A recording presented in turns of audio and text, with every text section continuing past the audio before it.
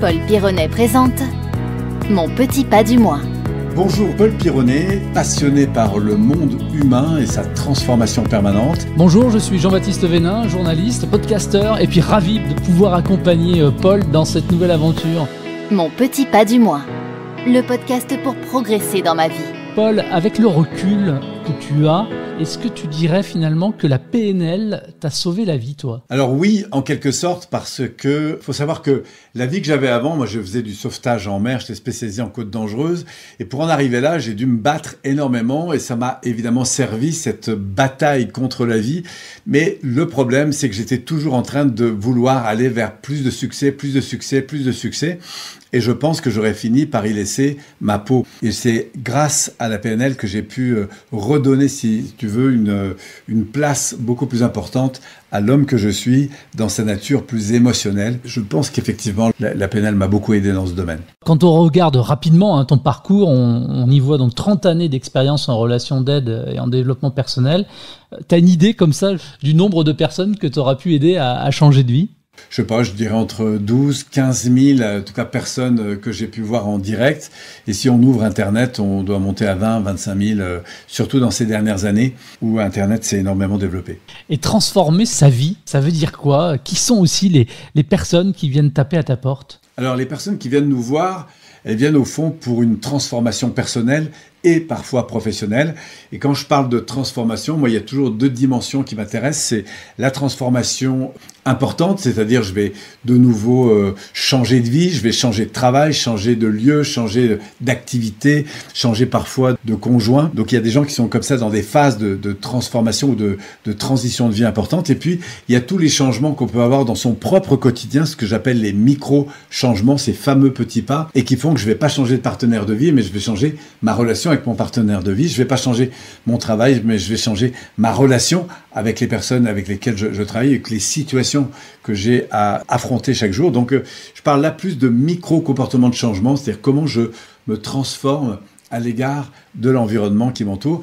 Tout commence déjà par des micro-changements. Paul, dans les neuf configurations euh, différentes de la personnalité que l'on retrouve dans l'énéagramme, dans ces neuf euh, façons de se définir finalement, dans laquelle toi tu te retrouves le plus? Alors, si on prend l'énéagramme, évidemment, neuf profils. S'il y en avait un qui était plus fort que les autres, mon profil de base, mon port d'attache serait plutôt le 3, qu'on appelle le compétiteur, parce que toute ma vie d'ailleurs, hein, ça met bien en exergue la dynamique dans laquelle j'ai toujours été, je suis toujours, avant beaucoup plus axé sur la quête de performance, le besoin de briller, puis aujourd'hui peut-être sur une approche qui prend davantage en compte ce que je vis, ce que je ressens dans mon quotidien, de prendre le temps de, profiter peut-être davantage de mes secondes, de mes minutes, de mes jours, de mes semaines, voilà, pour entrer dans une vie qui est plus euh, axée sur ce que je vis dans mon quotidien, le plaisir que je prends à être et à partager, euh, plus que d'avoir euh, toujours une course au, au, succès plus grand. Oui, tu parles de profiter du temps. Il n'y a pas un moment où quand même, après 30, 35 ans d'années d'expérience, tu n'as pas envie de, je sais pas moi, de passer à autre chose Qu'est-ce qui te motive finalement encore à te lever, toi, chaque matin et aller aider, tiens, ces personnes qui sont en quête de changement? En fait, il y a des choses qui se répètent dans mon quotidien parce que, bah parce que je fais plusieurs fois le même séminaire. Mais ce qui est très changeant, c'est la qualité de la relation que je vais établir avec les gens. Euh, le contenu de cette relation, puisque chaque personne est différente. Donc, euh, c'est dans mes interactions, moi, que je trouve le, plaisir de grandir et d'évoluer. C'est un métier qui offre énormément de, de diversité.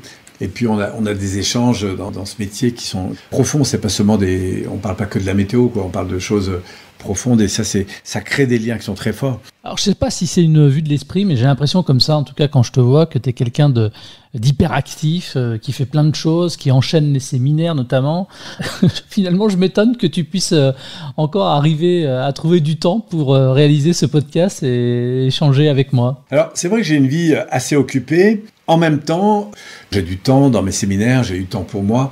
Moi, je suis quelqu'un qui adore les groupes, qui adore l'intensité des échanges, mais qui a tout autant besoin aussi des espaces plus personnels. Voilà, et je consacre mon temps aux choses que j'aime, aux gens que j'aime, aux activités que j'aime. Donc, je suis, euh, je suis vraiment pas à plaindre. Hein. Ouais, puis ce qui est génial, quand tu es fatigué, finalement, t'envoies ton frère jumeau à ta place.